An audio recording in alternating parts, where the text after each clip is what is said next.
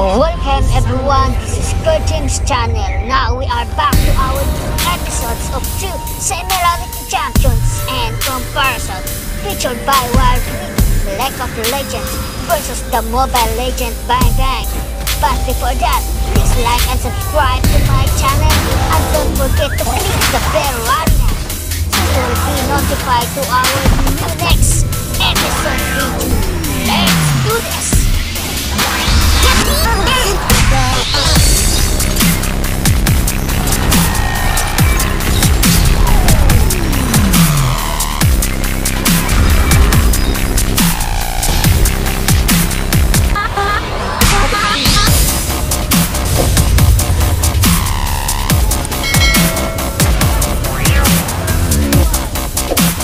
Vladimir is a character that lived for so long history lost track of who he is. Or rather, was.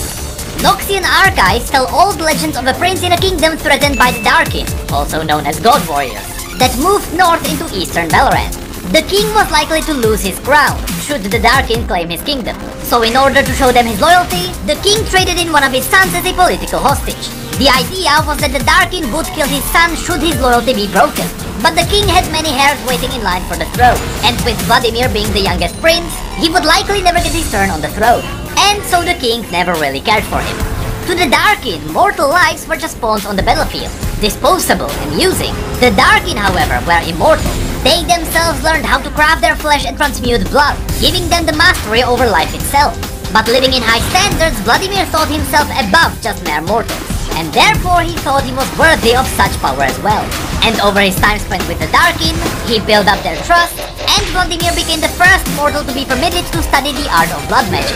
This devotion earned him a spot in his patron's warhost, and Vladimir would carry out the Darkin's will on lesser beings using his newly acquired hemomancy. Remember that during these times the Darkin were at war, and every warhost was devoted to and worshipped only a single Darkin. So Vladimir wasn't a to the Darkin in general. He was loyal to a single god warrior, and as time passed, his loyalty affected his personality. Suddenly Vladimir was governing their followers with as little mercy as the Darkin themselves. But eventually the reign of the cruel tyrants had to end. The story said that how it happened is described in legends. But we know that a Targonian aspect, very similar to Zoe, gave mortals the knowledge to steal the Darkin away. All of that was in the Twilight of the God story.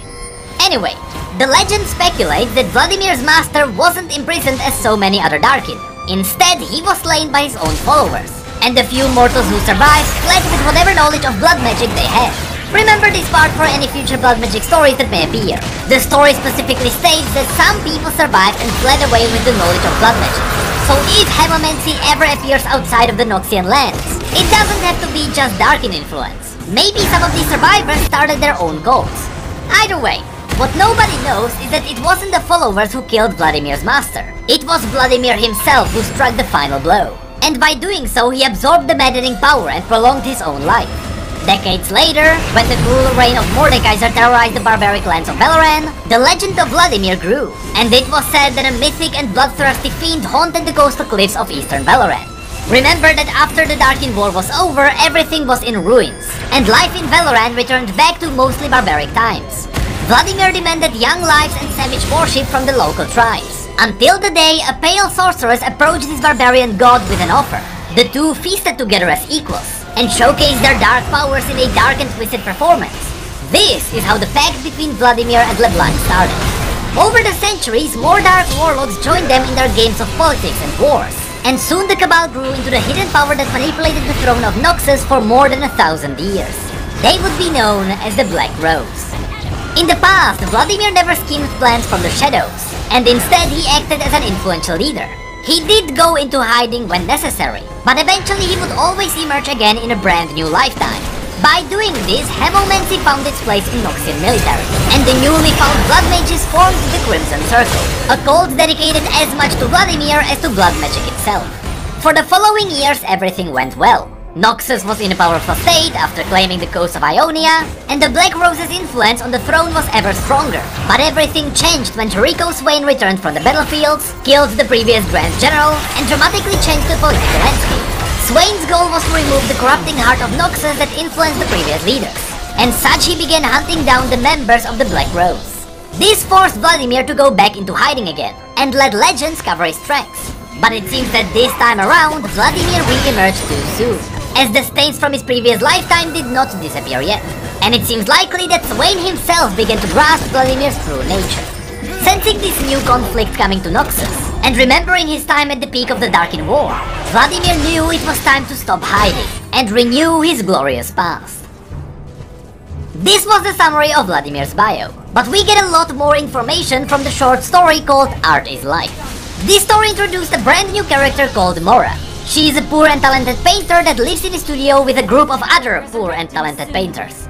Mora received an invitation to the Mortora district, also known as the Iron Gate, and there she would paint a portrait of a rich and powerful man.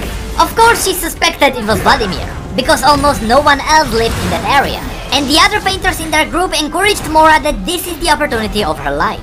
Except for the one guy that was clearly more talented than her, and he was just jealous that he wasn't picked instead. So Mora followed the instructions in the invitation and got to the Iron Gate. Most of Noxus was very noisy even at night. People were singing marching songs, swords clashing sounded from the arena, widows cried, drunken soldiers shouted, and drakehounds howled at nearby prey. Noxus was very noisy. But the district around the Iron Gate was dead silent, with the streets empty. When Mora got there, she was surprised how much free space there was around her. Usually everything is cramped. At the center of the empty plaza was a statue of a headless knight wielding a spiked mace. You don't have to second guess that this was a headless statue of Mordekaiser, the legendary warlord king of the past that ruled this place. Mora kept following the instructions until she got to a large mansion. She didn't need the instructions because everyone knew who lived here. But just as the letter said, the main doors were open and Mora stepped inside. This entire place was built from different styles of architecture, indicating that it was built over many centuries. And the heart of the mansion seemed to be built around some ancient Shuriman temple, as Mora continued through the entrance, she had to go through the mansion's gardens. There she saw exotic flowers that she had never even heard about, and there were hundreds of colorful butterflies mixed between the flowers. Upon closer inspection, Mora realized that the butterflies had patterns on their wings similar to the crest of Noxus. She then enjoyed the scent of one particularly beautiful bloom. Its petals were flame red. Mora was experienced with mixing flowers for her paints, but she had never seen a red color like this one. The reason for this is because this was a very rare flower. It fits the description of the one we read about in Maokai's story, the night bloom. So the reason why she had never seen it is because it is extinct. The last night blooms grew on the Blessed Isles before the ruination. Mora couldn't resist the flowers and she plucked a few petals from the nearest plant. The remaining petals immediately curled inwards and the stem bent away in fear. That's when Mora felt terrible here. After that, she stepped inside the main hall, as instructed in the letter, despite nobody being there. It was a dark room with long galleries to her left and right. She just stood there alone. It took a while, but a voice finally answered her. It was Vladimir, although she couldn't see him. At this point, Mora was very nervous. But her conversation with Vladimir went well, despite still not knowing where he is. It seemed as if Vladimir's voice was all around her. Everything was fine until Vladimir asked her how she liked the garden. That Mora knew was a trap question. Vladimir then explained what the place was all about. The gardens are full of rare species from all across Runeterra. And he even mentioned that the flower she killed was a night bloom, a flower native to a chain of islands in the east where Vladimir hid before it was destroyed. And after it was, he took some seeds from a nature spirit's grove and brought them back to Valoran. Yes, he is talking about the Blessed Isles and about Maokai, who was protecting the last night bloom. This is interesting because the Blessed Isles were home to many powerful mages. Even Tyrus, the master of Ryze, came from its capital city.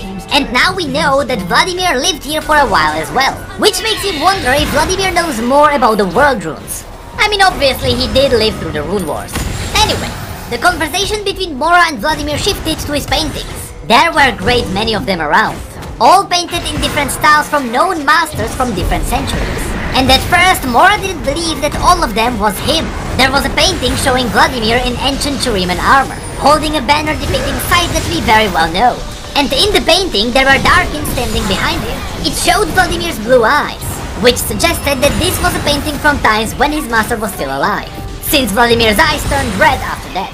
And since the banner revealed a scythe, we might assume that his master was Rhaast.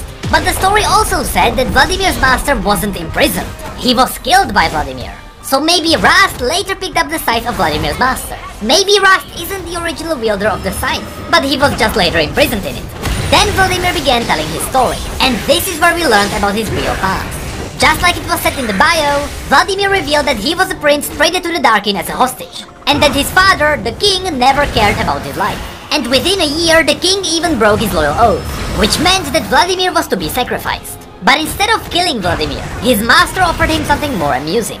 He gave Vladimir the chance to lead the Darkin's armies against his own father, which Vladimir did and he destroyed his father's city. After presenting the king's head to his master, Vladimir's loyalty was sealed. Vladimir even revealed that he did it because he would have never been the king otherwise. There were so many princes in line in front of him, he would have never lived long enough to see his birthright. For slaying his own father, the reward his master gave him was the power to defy death, to sculpt flesh, blood and bone into the forms we see in the concept art. But this was the magic of gods, and Vladimir could only execute small tasks even after concentrating all of his will. And more than that, in the Darkin society, it was forbidden to teach mortals how to wield blood magic. The punishment was death. But Vladimir's master found it amusing to make fun of his king.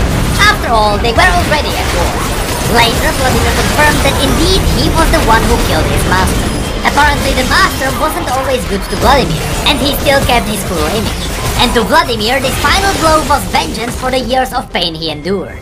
This was the first story Vladimir told Mora. It was supposed to be a taste. Vladimir wanted her to know his full story in order to paint him another piece of history. But he also wanted to give her a chance to leave should she wish to do so. But Mora stayed and the journey through history continued. They ended up in a room with thousands of pinned butterflies on the walls. Vladimir explained that this was his study collection. He only killed the butterflies moments before they would die naturally. By doing this, he learned about their lives. And by taking the lives from these individuals, he made sure the other butterflies will live in the gardens. And those butterflies don't live anywhere else in the world. Vladimir mentioned that just like his ancient godly masters, he chooses who lives and who dies. Again, mesmerized, Mora brushed the wing of one butterfly with her finger, only for it to turn into dust and start a chain reaction that would make hundreds of them crumble. Of course, all of those pieces of dead butterflies falling on her terrified her, and she ran down the corridor. She ended up at the center of a tower with spiraling staircase around its edges. A dim red light was shining from the peak of the tower. She smelled hot metal in the air, like the iron winds carried from the forges. Of course, we know that blood smells like iron, so the presence of blood magic in the tower became more obvious. That's when she noticed more paintings on the walls. But unlike the previous ones where Vladimir was young and handsome, these were from a very different time in his life. Some showed him middle-aged, and on some paintings, Vladimir just looked dead. Then there was one depicting him bloodily wounded, in the aftermath of a great battle before a titanic statue of ivory stone. In the story, we didn't get more information on this painting, but we know it is Galio. Possibly from the short story where Galio fights back against Noxian warlocks and their great beasts. This is when Vladimir told Mora that all of these paintings came from great turning points in Vladimir's history. And all of these truly were from major events, be it good or bad for Vladimir's life. And for far too long, Vladimir was now focusing on staying alive and renewing himself. He told Mora that there are great events in the world that are slipping between his fingers. That's why he needed her, an artist with passion greater than talent, to paint him now. He saw the rise and fall of Mordekaiser, and many other leaders who climbed to power over thousands of corpses. He even learned about what lurks at the Empire's heart, the Black Rose. But even that is just full spray. Vladimir wants a portrait before he steps out of the shadows, and changes the course of the Empire. In the final scene, Vladimir emerged from the shadows as Mora accepted this task. And as the story describes Vladimir's long talons, I realized they were real. Those were the work of the Dark blood magic. To close this video, I want to say that I love how this story showed us how Vladimir affected history. It didn't just mention it without proof. Also, I love that we learned more about the Darkin, Noxus, and even the Shadow One. Vladimir is the first character whom I strongly believe was influential over the centuries. Hey, did you know that we have social media and Twitch where we talk about other League facts stories? And did you know that we have neat mugs and shirts too? The links to all of that will be below. And as always, thank you, come again.